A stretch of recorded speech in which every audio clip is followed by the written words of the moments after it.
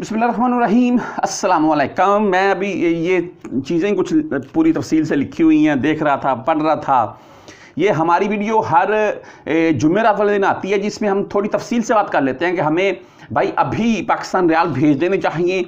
ऐसा ना हो कि आने वाले वक्त में मज़ीद दो तीन रुपए कम हो जाए रेट। जैसा कि अक्सर भाई मुझे कमेंट करके बताते हैं कि भाई, रियाल सतासठ के ऊपर, पैंसठ के ऊपर, तिरसठ के ऊपर आएगा। अगर मिसाल के तौर पर एक बंदा पैंसठ के ऊपर बोल रहा है तो अभी रेट चल रहा है चौहत्तर के। चलो, तिहत्तर रुपये प्लस में बोल रहे हैं आप। साढ़े तिहत्तर तिहत्तर, चौहत्तर के राउंड में चल रहा है। तो अगर पैंसठ के ऊपर आ जाता है तो भाई इसमें तकरीबन आठ, साढ़े आठ रुपये का, आठ रुपये की कमी हो जाएगी। अगर भी किसी भाई के पास दस हज़ार रियाल पड़ा हुआ है तो उसका तो भाई तकरीबन अस्सी हज़ार से लेकर एक लाख तक का नुकसान हो जाएगा।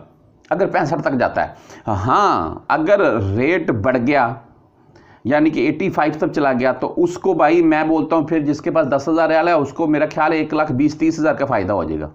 ये चीज़ें होती हैं भी ऐसा ना हो कि आने वाले वक्त में रियाल रेट डाउन हो जाए और हमें नुकसान हो जाए। ये भी तो बात जहन में रखनी है ना।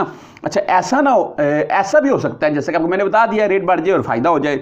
बहरहाल, इस वक्त इस वक्त की सूरत मैं आपको शॉर्ट सी बता दूँ, उसके बाद मैं आपको एक एक तो चीज़ें हाईलाइट करूँगा, इंशाल्लाह आप परदेसी भाई इस चीज़ से एग्री करेंगे। बाकी आप भाई, मुझे कमेंट में अपनी राय ज़रूर दीजिएगा।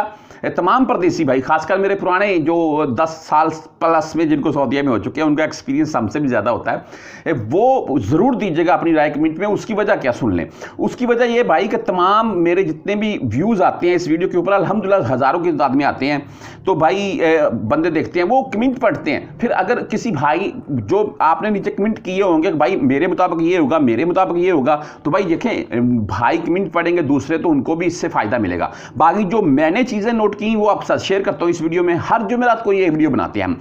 इस वक्त पाकिस्तान में आने वाले, मेरा ख्याल है आज अट्ठाईस उनतीस तो होगी। तो तकरीबन आप अंदाज़ा कर लें कि ये दो दिन के बाद पेट्रोल के मुतलक दस रुपये तक की खबरें सामने आ रखी हैं कि पेट्रोल नौ रुपए से लेकर दस रुपए तक, नौ रुपए से लेकर दस रुपए तक बढ़ सकता है। हाँ इसमें कमी बेशी हो सकती है, इससे कम भी बढ़ सकता है, इससे ज़्यादा भी। लेकिन खबरें ये गर्दश कर रखी हैं अभी की। आप इससे अंदाज़ा कर लें कि पेट्रोल एक ही दम से इतना बढ़ रहा है और पाकिस्तान में महँगाई की भाई जो सूरत है, बस अगर आपका कोई मुखलिस दोस्त, मैं बोलता हूँ मुखलिस दोस्त, इंसान की अगर किसी की शादी हुई ना तो उसकी बीवी है। अपनी बीवी से पूछ लीजिएगा, पाकिस्तान टेलीफोन आपका ज़रूर होता होगा रोज़ रबता। नहीं तो अपनी वालदा या वालद से पूछ लीजिएगा। वो आपको तफसील बता देंगे पाकिस्तान में इस वक्त महँगाई की क्या सूरत है।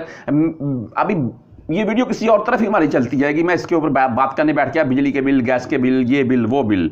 तो बहरहाल, ये रियाल रेट के मतलब तो भाई ये है जी अभी की सूरत कि महँगाई धड़ाधड़ बढ़े जा रही है। जैसा कि मैंने आपको पेट्रोल के मतलब भी बता दिया, पेट्रोल का रेट भी बढ़ रहा है अभी फिर से।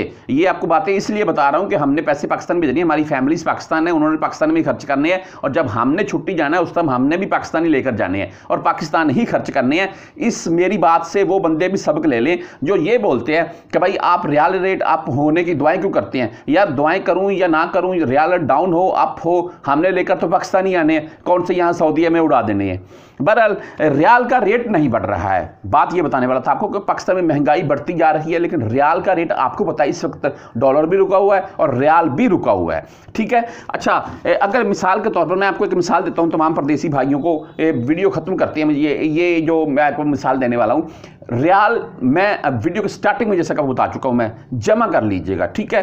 ये आने वाले दिनों में आपके पास अगर मिसाल के तौर पर तीन मरले पाँच मरले का कोई प्लाट भी आपने पाकिस्तान में लिया होना है सकता है मेरे नज़दीक हो सकता है वो आपको प्लाट उतना प्रॉफिट ना दे जितना आने वाले दिनों में ये रियाल आपको प्रॉफिट दे जाएँगे। हाँ जो मेरे पाकिस्तान में बैठे हुए हैं ना अहबाब जो वहाँ से रियाल या डॉलर लेकर वो जमा करते हैं स्मगलिंग करते हैं यानी कि वो बाद में महँगा होगा निकालेंगे वो गैर कानूनी है। हाँ, जो सऊदिया में परदेसी भाई हैं ये अपनी हक हलाल की कमाते हैं अपनी मेहनत से कमाते हैं ये हमारी मर्ज़ी है भाई हम पाकिस्तान जितने चाहें भेज दें जितने चाहें अपने पास रख लें। इसके ऊपर कोई किसी किस्म की आपको भाई रोकथाम या आपसे पूछ पूछ नहीं होगी। हाँ जाते समय आपको पता है कि पचास से साठ हज़ार रियाल के अराउंड में आपने रकम लेकर जानी है। अच्छा एक मिसाल जो आपको मैं देने वाला था वो ये है भाई अगर मिसाल के तौर पर अगर किसी परदेसी मेरे भाई के पास मैं आपको बता चुका हूँ, जैसे कि रियाल जमा कर लीजिएगा, एक बंदा भाई रियाल जमा करता करता करता, उसने छः माह के बाद छुट्टी जाना है, पाँच माह के बाद छुट्टी जाना है, एक साल के बाद जाना है, या तीन माह के बाद बाद छुट्टी जाना है, वो जमा करता करता बीस हज़ार रियाल अपने पास जमा कर लेता है, ठीक है? अभी जो मेरे मुताबिक मुझे सूरत सामने दिखाई दे रही है ना। आने वाले दिनों में, आने वाले, मैं बोलता हूँ, आप इनको दिन बोल रहे हैं, महीना, डेढ़ महीना बोल रहे हैं, रियाल में अच्छा खासा इजाफा होना शुरू हो जाएगा। यकीन माने। अच्छा अगर रियाल में भाई इजाफा शुरू हो गया और रियाल का रेट 85 या जैसे कि मिसाल के तौर पर कुछ भाई बोलते हैं कि 100 के ऊपर जाएगा 100 के ऊपर जाएगा। अच्छा 100 के ऊपर जाने में भी मैं बोलता हूँ, अगर ज़्यादा देर तो नहीं लग सकती, जो पाकिस्तान की इस वक्त सूरत अगर यही महँगाई की सूरत रही तो रियाल का रेट भाई हंड्रेड के ऊपर भी जा सकता है। और ये ज़्यादा दूर की बात नहीं है, ये इसमें दो, चार छः माह ज़्यादा से ज़्यादा यही टाइम लग सकता है। अगर मिसाल के तौर पर रेट एट्टी या हंड्रेड, यानी कि सौ के ऊपर चला जाता है। पहले भी हालाँकि बयासी के ऊपर गया था ऊपर मार्केट में पचासी, चौरासी, पचासी तक पहुँचा था। तो भाई, अगर रियाल का रेट हंड्रेड के ऊपर चला जाता है तो अगर किसी परदेसी भाई ने बीस हज़ार रखा होगा ना, उतनी देर में अपने पास सेव कर, करके थोड़ा थोड़ा तो भाई, उसको तकरीबन तकरीबन पाँच लाख पाकिस्तानी रुपए का फ़ायदा होगा। ये मेरी बात सुन लें। आप खुद कैलकुलेट करके देख लें आज के रेट के हिसाब से। पाँच लाख या इससे भी जायद अगर कोई परदेसी भाई बीस हज़ार रियाल अपने पास सेव करता है और आने वाले दिनों में रियाल अप हो जाता है और होगा, मुझे उम्मीद है।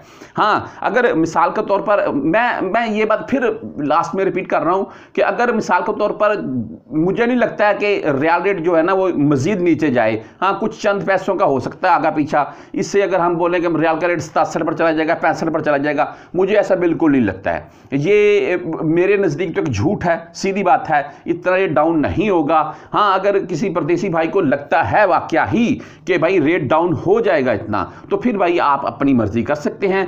मेरे नज़दीक अभी की जो सूरत वो यही है कि आपकी फैमिली को जितनी ज़रूरत है, उतने भेज दें, बाकी अपने पास सेफ़ कर लें। जाते समय जब आप छुट्टी जाएँगे पाकिस्तान, उस टाइम साथ लेके जाइएगा। इन ताला आपको अच्छा खासा मज़ा आएगा।